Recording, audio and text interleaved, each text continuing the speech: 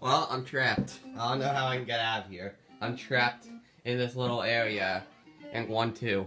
Hey, I was about to be like, hey everybody, Mario Fan 27 here, back for some more Super, Super, Super Mario Bros. Hello everybody, and welcome to Sunday. I was honestly about to start off this vlog by saying, hey everybody, I'm Mario Fan 27 here. But that's not how I start the vlogs off. How I start the LPs off. Specifically this LP. And specifically in this LP, I got to World 7. And I ain't going to beat this today. I will. So just stay tuned for that. Well, it's been a couple hours, like 8.35 now. I am recording. Well, not currently. Where, where did I get to? World 8.4. That's the last thing I need to record and the series is done.